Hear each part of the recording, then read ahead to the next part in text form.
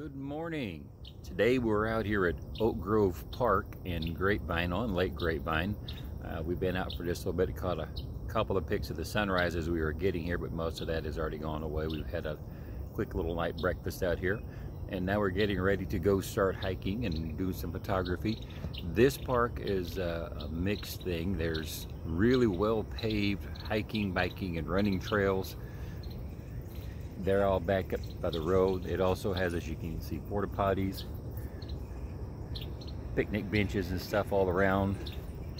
And then the lake, with the sun there shining on it is all behind me. We're about to go hiking down in there one thing to know about this one, if you plan to go do birding and hiking and you're going to go off trail, the trails are not very well defined. You're going to be hiking through brush, woods, uh, less trails and more just through rough little country. So it's it's not as clearly defined trails when you're out actually going down to the lake there behind me. And once I get down there, I'll get some videos down there and you can see. So we're to get ready to head down there and get started. So I'll be back in a little bit.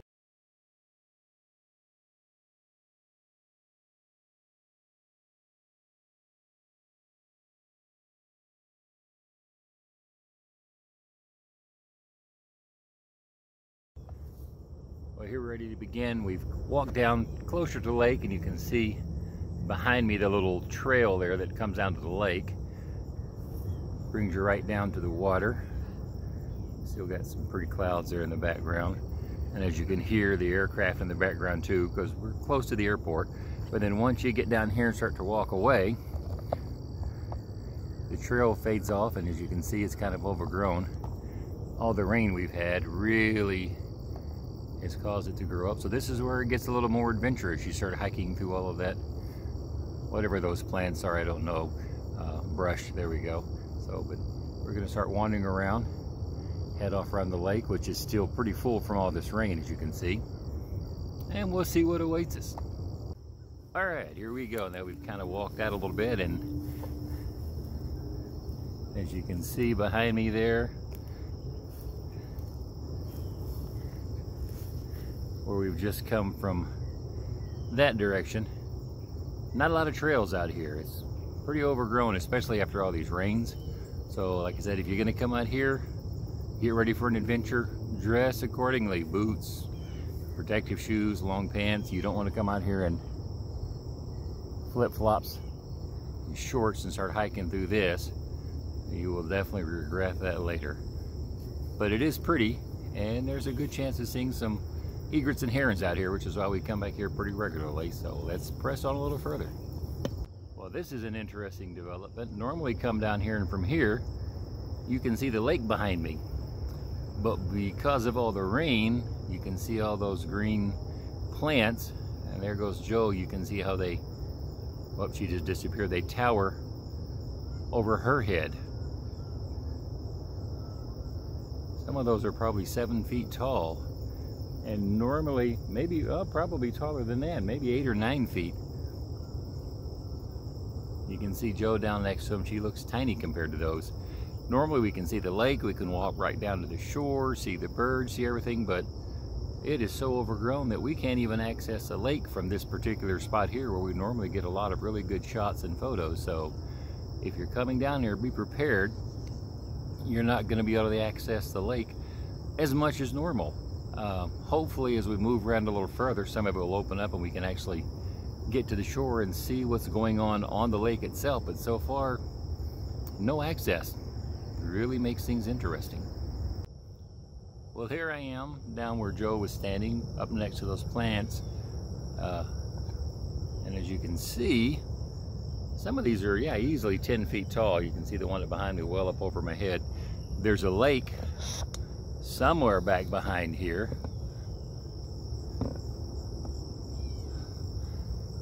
Even when I raise this up on the selfie stick, I can't get it quite high enough to see the lake. I through little patches or openings in the, the leaves, I can get glimpses of the water. Where normally we just walk right up behind here and we're on the lake and we're watching, you know, getting right up to the shore. We've got all this stuff that is just in the last few weeks of this rain has just shot up like crazy. So yeah, it definitely changes the dynamics of uh, hiking or photography or bird seeing or anything out here for now. Uh, quite a bit different. So let's go a little further. Maybe we'll get to see the lake. If not, well, there's other places we can go out here in Grapevine too in this park. It's a very large park, spreads around. So we'll, we'll explore some more. See, I told you there was water here. Finally made it through all of that behind us there. There's Jo coming. And got to where it narrows down to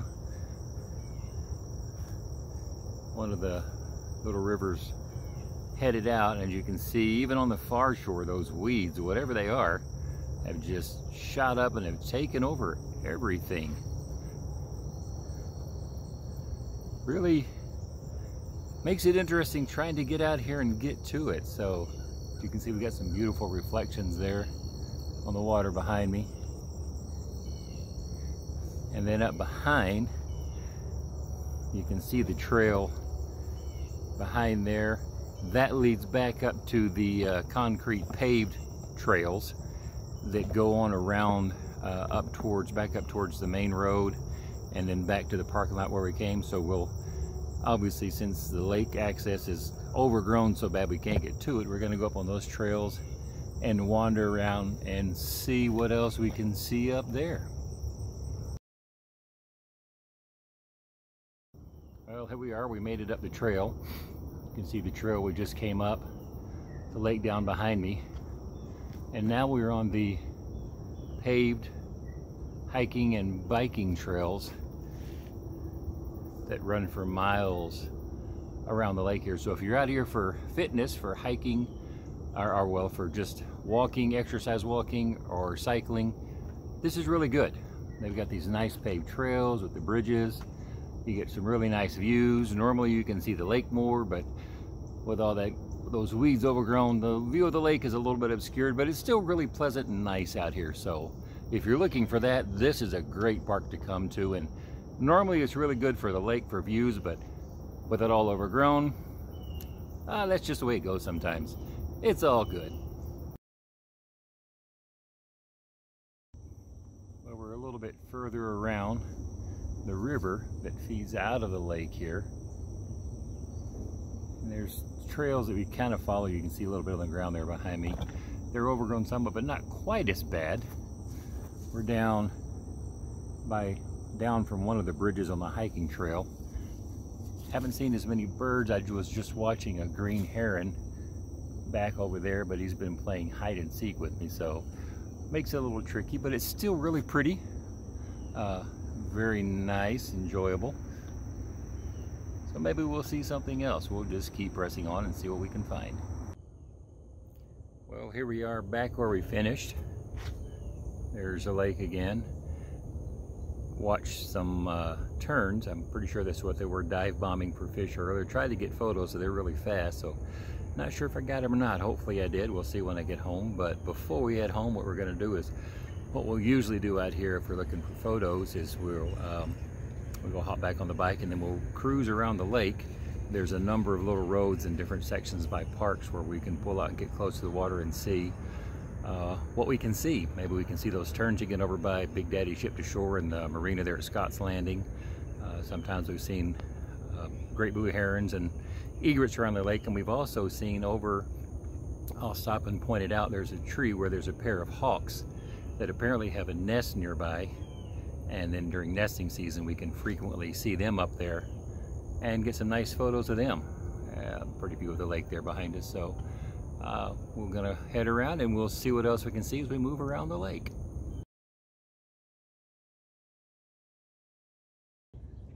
Well here we are, we've come down to Scott's Landing.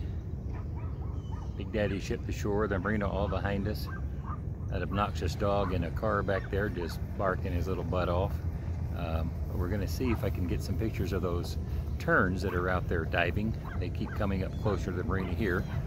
And of course, if you come down here, there's never a shortage of ducks wandering around the marina. Mallards, Muscovy, uh, various ducks like that, because they, they get fed at the marina. You can buy duck food. Well, It's cat food that they feed to the ducks, uh, but you can buy that and feed them. So they know they're gonna get fed, so they hang out here a lot. So if you wanna get some pictures of ducks, this is a great place, Scott's Landing out here in Oak Grove Park.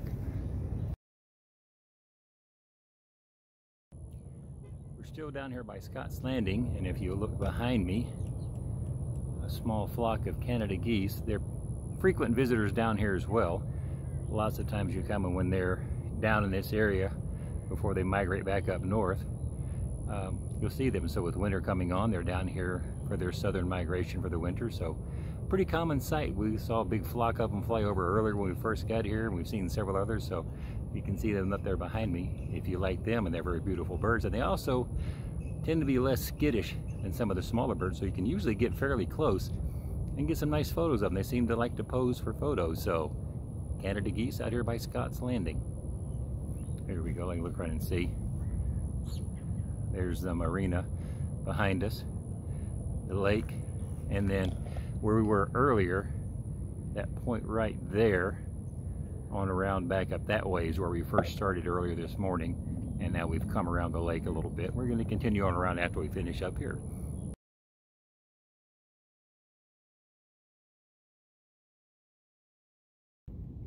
Come down here, down the road from Scott's Landing, and there's an abandoned parking lot up here. And I'm standing here, and right behind me, here he is, there's a great blue heron that has been just standing there and posing very nicely for some photos. Normally they don't get let you get near this close to him. I'm probably about 30, 35 feet away from him. You can see him there. And he's just chilling out, not bothered at all by my presence. Very unusual, very enjoyable too. It's odd to get pictures this close of him. Don't do that very often at all. Usually I'm way at the end of the 600 range trying to catch them and I was able to bring it all the way in. Very nice. You just never know what nature's going to give you.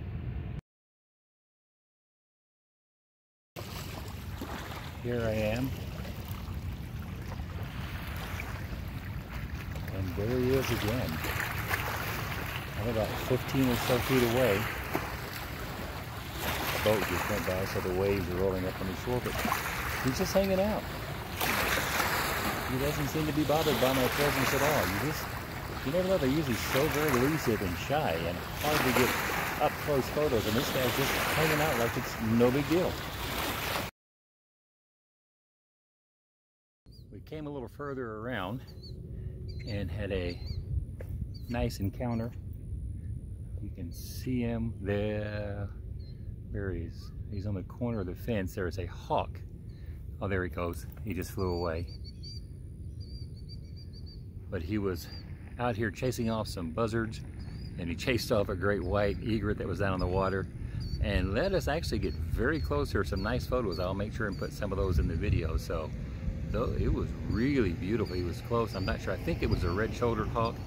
I'll have to look at the photos to identify it when I got home. I thought it was an osprey when we first saw it but once I got closer I realized it wasn't uh, they don't have that didn't have the traditional black stripe that the ospreys have on their cheek but it was a beautiful, beautiful hawk that let us get within about 30 feet of it for some really nice photos. You just never know what you're going to get. What we thought was going to be a less than eventful day because of all the overgrowth and we couldn't get to the lake, thanks to uh, the great blue heron and the hawk and a few other things, it really turned into a nice day. Got some nice photos, had a nice adventure, so you know, you never know. We've come down, oh, by the way, this is one of the other turnouts. I forget the name of the road. There's ballpark's up the road behind us. If you come around the road from uh, where we first came in, I'll put some uh, maps and pointers on there. This little road we came down, and uh, you just we will like after we go do our hikes and our walks out here, we'll just do a draw, slow drive around the lake and pull into each of the little turnouts where there are boat ramps and docks are because you just never know what you're going to find. Sometimes you'll get greeted by a hawk that likes to be very friendly or a great blue heron that lets you get right on top of it. It's just all part of the joy of nature photography. Sometimes it's hard to find and other times they come right to you. So just, yeah, keep shooting and uh, I'll be back a little bit.